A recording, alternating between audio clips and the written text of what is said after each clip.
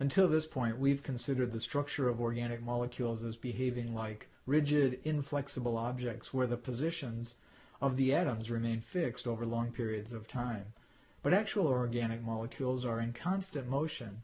On very short time scales, they exhibit large amounts of vibration and rotation. And to illustrate the motion that a molecule exhibits on a very short time, time frame, we're going to do what's called a molecular dynamics simulation and let's use the molecule ethyl bromide, whose structure is shown here. So go ahead and draw this ethyl bromide in a Marvin sketchpad.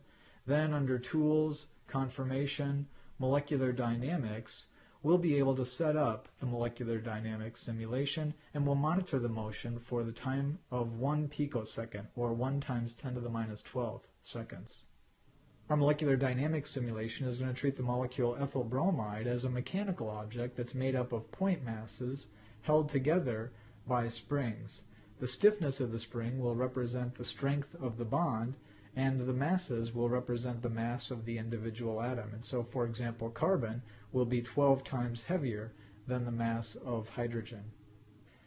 Our simulation is going to be carried out in discrete steps according to the parameters that are in this table. There'll be a total of 10,000 steps, and each step is going to last a tenth of a femtosecond.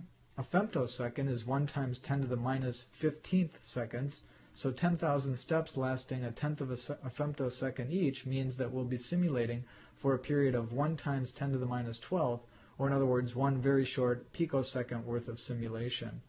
The simulated temperature will be 300 degrees Kelvin. That's the amount of thermal energy that's going to be imparted into our molecule by random Brownian motion. Let's go ahead and carry out that simulation. It goes pretty quickly. And then we see this animation that represents our time frame of one picosecond.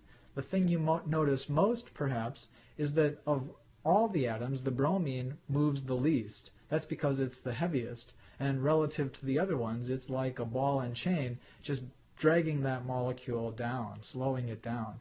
The other kinds of motions you see are mostly vibrational motions, especially of the hydrogen atoms, and then you can see a little bit of oscillation in the methyl group. Maybe we can swing it around so that you can get a better idea of what that methyl group oscillation looks like. So you can kind of see it librating back and forth in an oscillatory type sense. If we were to look at this for a much longer period of time, we would occasionally see that there would be a complete rotation around that carbon-carbon single bond. But on this short one picosecond time frame, we don't allow enough time to see a full rotation of about that about that bond. When the groups of atoms on either side of a single bond rotate relative to one another, the process is known as torsional rotation.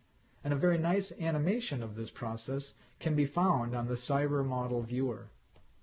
Once you're in Cybermodel Viewer, load the animation for ethane bond rotation. Start that animation and what you'll see is the group in front appears to rotate relative to the group in back. Move that around and get a different view. You can see that effectively this is a motion that describes rotation about the carbon-carbon single bond.